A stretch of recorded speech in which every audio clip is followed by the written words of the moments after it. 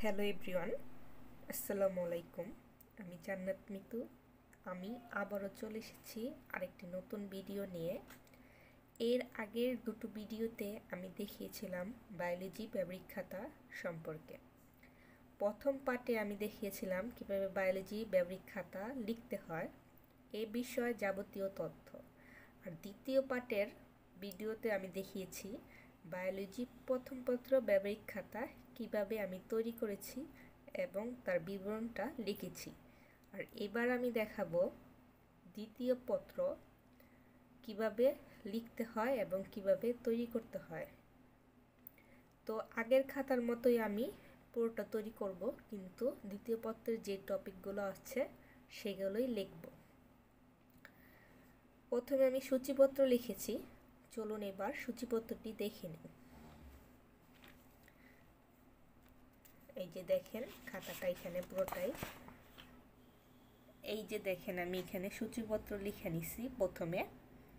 তারপর ধারাবাহিকভাবে প্রতিটি টপিক একের বা একের পর এক লিখছি। তো আমি যেই কলেজের খাতাটা তৈরি করেছি, সেখানে এই টপিকগুলো দেওয়া হয়েছিল। এর জন্য আমাকে এই টপিকগুলো তৈরি করতে হয়েছে। এক এক কলেজে এক এক রকম টপিক দেওয়া হয়। তো যেই কলেজে যেভাবে দিবে, সেভাবেই করবেন। তবে বেশিরভাগ কলেজে এইগুলাই দেওয়া হয় ঘুরে ফিরে। তো নন করডাটা পর্বের বিভিন্ন নমুনা পানি সম্পর্কে আমি প্রথমেই লিখেছি। প্রথম যে পর্যবেক্ষণটা এটা নিয়ে লিখছি। তো আমি যে কলেজের খাতাটা তৈরি করেছিলাম, সেখান থেকে এই নন করডাটার দুইটা লেখা হয়েছে লিখতে বলা হয়েছে দুইটা পর্বের পানি লিখতে বলা হয়েছে আর ভাটি বার বাটার দুইটা পর্বের পানি লেখা বলতেছে। সাধারণত এখানে আমরা পাঁচটা করে পর্বের পানি পর্যবেক্ষণে লিখে থাকি। কিন্তু কলেজ থেকে যদি নির্দিষ্ট করে বলে দেয়, দুইটা, তিনটা, চারটা, পাঁচটা কিংবা সাতটা, তাহলে ওইগুলাই লিখতে হবে। তো আমি যেই কলেজের খাতাটা তৈরি করেছিলাম, তো সেই কলেজ থেকে বলা হয়েছিল দুইটা করে লিখতে, এই জন্য আমি দুইটা করেই লিখেছি। তো দেখেন সূচিপত্রটা আমি কীভাবে লিখেছি, সবগুলো দেখাচ্ছি কাছ থেকে এই যে দশটা পর্যবেক্ষণ আমি তৈরি করেছি। তারিখ লিখেছি, ক্রমিক রং দিয়েছি, আবার পাশ দিয়ে পেজ নাম্বারও দিয়েছি। যখন স্যাররা এটা দেখবে, সাথে দিয়ে মন্তব্য লিখে দিবে বা সাইন করে দিবে খাতাটা। প্রথম, প্রথমে আমি যেই এটা লিখেছি সেটা দেখে নিব। এই যে, প্রথমে আমি নন কর্ডাটার পর্বের নমুনা পানি যেটা, যেই দুটা কলেজ থেকে বলছিল ওই দুটা লিখছি। এখানে তারিখ, তারপরে পেজ নং পর্যবেক্ষণ নং সেটা তো আপনারা জানেনই কি লিখতে হবে। তো আমি এঁকেছিলাম কেঁচো। আর এঁকেছি আপেল শামুক। এই দুইটা করডটার পর্বের প্রাণী। এছাড়াও আর অনেক প্রাণী আছে, সেগুলো আপনারা রাখতে পারেন। কিন্তু কলেজ থেকে এই দুইটা দিচ্ছে আমাকে, এই জন্য আমি এই দুইটাই আঁকছি।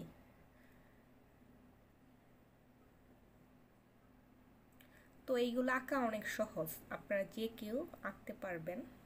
একদম সিম্পল কে যদি চান যে আঁকতে পারতেছি না, তারা অবশ্যই আমার সাথে যোগাযোগ করবেন। কীভাবে আমি এঁকেছি সেটা আমি বইলা দিব।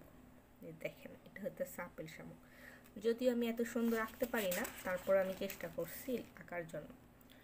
আর এখানে যে বর্ণনা লিখছি, প্রথমে নমুনা পানি, কেঁচো, শ্রেণীবিন্যাস করছি সংযুক্তকারী বৈশিষ্ট্যগুলো লিখছি। তারপরে অপর পেজে লিখছি নমুনা প্রাণী আপেল শামুক, শ্রেণীবিন্যাস, তারপরে শনাক্তকরণ বৈশিষ্ট্য। এইবার আমি দুই নম্বর পর্যবেক্ষণে গেলাম। এটার মধ্যে লিখেছি, ভাটি বাটার বিভিন্ন পর্বের নমুনা প্রাণী তো এখানে বলা হয়েছিল আমাকে দুইটা লেখার জন্য। আমি দুইটাই লিখছি, একটা হচ্ছে গোকরা সাপ নাজা নাজা বৈজ্ঞানিক নাম যার আরটা হচ্ছে দোয়েল পাখি। এই যে দেখেন। পাখিটা বেশি বড় রাখতে পারিনি, কারণ আমি আঁকা এক্সপার্ট নই, তারপর চেষ্টা করেছি। তো অপর পেজে আমি এটার বর্ণনা লিখছি। প্রথমে নমুনা প্রাণী সম্পর্কে গোকরা সাপ, তারপরে শ্রেণীবিন্যাস, তারপরে শনাক্তকারী বৈশিষ্ট্য। এরপরে আমি লিখছি, নমুনা প্রাণী দোয়েল পাখি, শ্রেণীবিন্যাস, শনাক্তকারী বৈশিষ্ট্য যেটা, ওইটা দিয়ে শেষ করছি। তো আমার এখন দুইটা পর্বের প্রাণী সম্পর্কে লেখা শেষ হয়ে গেছে। এই পরে যেই তিন নাম্বার পর্যবেক্ষণটা আছে, সেটা হচ্ছে ঘাস পরিঙের মুখপাঙ্গ পর্যবেক্ষণ। তো বইয়ের মধ্যে আপনারা যখন এটা বই দেখে লিখবেন, তখন দেখতে পারবেন যে ঘাস বোরিংয়ের আছে, তারপরে এছাড়া এটার সাথে আরেকটা আছে, ঘাস বোরিং ও আরশোলার মুখপাঙ্গ পর্যবেক্ষণ। তো কলেজ থেকে এটা একটাও দিতে পারে বা দুইটা একসাথেও দিতে পারে। যেভাবে দিবে সেভাবেই লিখবেন। এই যে তারিখ পেজ নং, পর্যবেক্ষণ নং, আর এই পুরো চিত্রটা। ঘাস ফড়িংয়ের বিভিন্ন অংশের চিত্ররূপ। এই পুরো চিত্রটা আমি এভাবে আঁকছি, দেখেন। এগুলো একটু সহজেই যে কেউ আঁকতে পারবেন তারপরে আমি ঘাসপরিংয়ের মুখপাঙ্গ বা বহি অঙ্গ সংস্থানের পর্যবেক্ষণ প্রথমে আমি শ্রেণীবিন্যাস দিয়ে সাজায় নিছি, আপনারা এভাবে সাজায় নেবেন।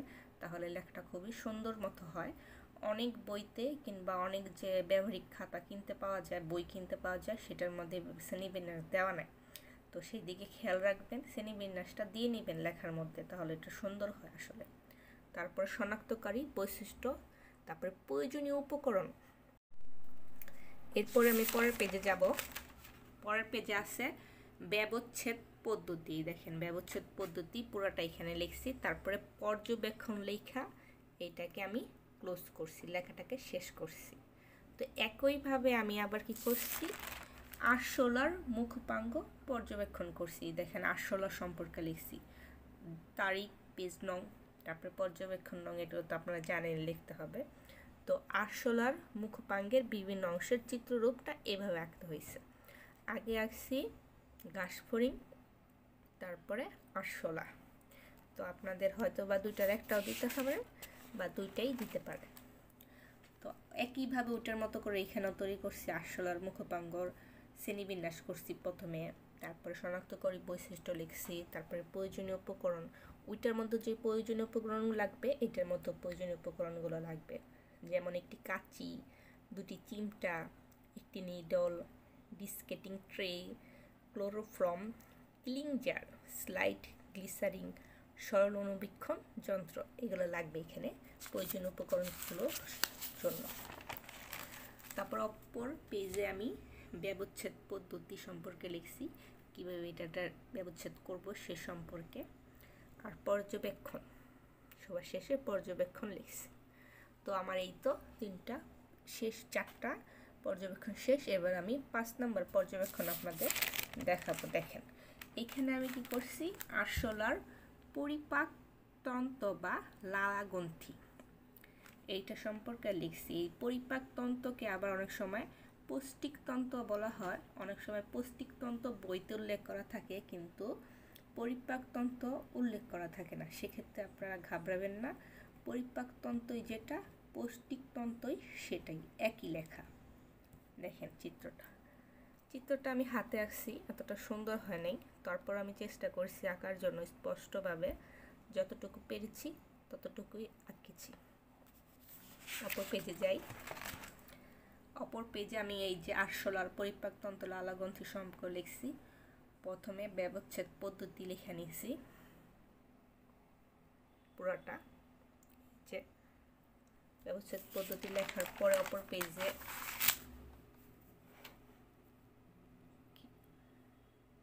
অপর পেজে বাকিটুকু লিখছি এদের দেখেন। এখানে আইসা এই পরিপাকতন্ত্রটা শেষ হয়েছে তারপরের পেজে আমি আবার এটার যে বলছিলাম লালাগ্রন্থি আঁকবো, সেটা লালাগ্রন্থিকে নিছি, এই যে। চিত্রগুলো এতটা সুন্দর হয়নি, স্পষ্ট হয়নি, কারণ আমি সেভাবে আঁকতে পারি না, যার জন্য। তবু চেষ্টা করছি আঁকার জন্য। যতটুকু আমি পেরেছি, ততটুকুই এঁকেছি। তো পরের পেজে পরের পেজে এটার যে লালাগ্রন্থির বর্ণনাটা, সেটা আমি সুন্দরভাবে এখানে লিখে নিয়েছি।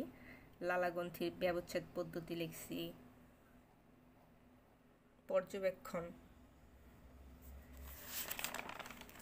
সর্বশেষ।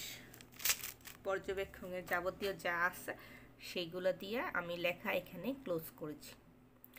এরপরে ছয় নম্বর যে পর্যবেক্ষণ সেটা জ্বালাম এটা হইতেছে রুই মাছের রক্ত সংগ্রহণ তন্ত্র পর্যবেক্ষণ। এটা আমি অন্তবাহী যে বঙ্কিয়াল ধমনী চিত্র আছে, সেটা লিখছি। কলেজ থেকে আমাকে বলা হয়েছিল এটা লেখার জন্য, এই জন্য আমি এটাই লিখছি। আবার আরেকটা আছে, এটা ছাড়াও আরেকটা আছে, সেটা হচ্ছে বহিবাহী বঙ্কিয়াল ধমনী চিত্র। তো দুইটা আছে এটার, আপনারা যেটা চাইবে সেটা আপনারা আঁকবেন। এই যে দেখেন, রুই মাছের এফারেন্ট বঙ্কিয়াল ধমনী চিত্র। চিত্রটা বেশি ভালো হয় নাই, কারণ একে অভ্যাস নাই তো এর জন্য বেশি সুন্দর হয় নাই। তো রুই মাছের রক্ত সংবহনতন্ত্র পর্যবেক্ষণের জন্য রুই মাছ শ্রেণীবিন্যাস করছি আমি। রুই মাছের যে শ্রেণীবিন্যাস, সেটা লিখছি। এটাকে বলছিলাম যে সব প্র্যাকটিক্যাল খাতাতে বা প্র্যাকটিক্যাল বইতেও আপনার এরকম শ্রেণীবিন্যাস আলাদাভাবে দেওয়া নাই, কিন্তু আপনার লেখার জন্য সুন্দর করে সাজানোর জন্য এভাবে লিখবেন। তারপরে শনাক্তকারী বৈশিষ্ট্য, তো এইখানে রুই মাছের শ্রেণীবিন্যাস যে আমি লিখছি, এখানে রুই মাছের চিত্রটা আইকা দিলেও সুন্দর হয়, কিন্তু আমি মাছের চিত্রটা ভালো আঁকতে পারিনি, এর জন্য আর দিইনি। তো আপনারা যারা পারবেন, এই পর্যবেক্ষণটায় রুই মাছের একটা চিত্র এঁকে দিবেন, তাহলে সুন্দর হবে। লেখাটা ফুটবে তারপরে রুই মাছ সম্পর্কে, রুই মাছের অন্তর্বাহী সম্পর্কে আমি লিখছি। একটা হলো অন্তর্বাহী, বঙ্কিয়াল ধমনী, আর একটা হলো বহির্বাহী, বঙ্কিয়াল ধমনী। তো কলেজ থেকে যেটা দিচ্ছে আমাকে, সেটাই লিখছি আমি। ব্যবচ্ছেদ পদ্ধতি লিখছি। পর্যবেক্ষণ লিখে আমি এইটা এখানে ক্লোজ করে দিছি মানে শেষ করছি। এরপরে সাত নাম্বার। সাত নাম্বারে বলা হয়েছে অগ্নাশয় যকৃত পাকস্থলী ক্ষুদ্রান্তের স্থায়ী স্লাইড পর্যবেক্ষণ ও শনাক্তকরণ তৈরি করো। তা আমি প্রথমে আঁকছি হইতেছে অগ্নাশয়ের অনুচ্ছেদের অংশবিশেষ। এই যে চিত্রটা দেখতে পাচ্ছেন, এটা হইতেছে অগ্নাশয়ের একটা চিত্র। তো মনোযোগ দিয়ে আঁকলে যে কেউ এই চিত্রগুলো আঁকতে পারবেন, ফুলের মতো হয়েছে সুন্দর লাগতেছে অবশ্য। তারপরের চিত্রটা হইতেছে যকৃতের অনুচ্ছেদের অংশবিশেষ। এটা একটা যকৃতের চিত্র, আমাদের যকৃতটা এরকম। তারপরে আমি এরপর পেজে বর্ণনা লিখছি প্রথমে। অগ্নাশয়ের অনুচ্ছেদ স্থায়ী, স্লাইড পর্যবেক্ষণ, শনাক্তকারী বৈশিষ্ট্য যেগুলো আছে সেগুলো লিখছি। তারপরে খ নাম্বার দিয়ে লিখছি হইল যকৃতের অনুচ্ছেদ। এরপরেরটা তৈরি করছি আমি পাকস্থলীর প্রস্তচ্ছেদের চিত্রটাই, যেখানে চিত্রটা আঁকছি তারপরের পেজে আমি এটার বর্ণনা লিখছি। পাকস্থলীর অনুচ্ছেদে স্থায়ী পর্যবেক্ষণ, শনাক্তকারী বৈশিষ্ট্য। এই যে এই পেজাই সেটা শেষ হয়েছে তারপরে শেষ যেটা লিখছি সেটা হচ্ছে ক্ষুদ্রান্তের প্রস্তচ্ছেদ এই যে চিত্রটা, এগুলো সবগুলো চিত্র আমি নিজ হাতে, এগুলো একটা আমার অনেক সময় লাগছে, আমি নিজ হাতে এঁকেছি নিজ হাতে লিখছি। এই যে বর্ণনাটা পরের পেজে বর্ণনা লিখছি।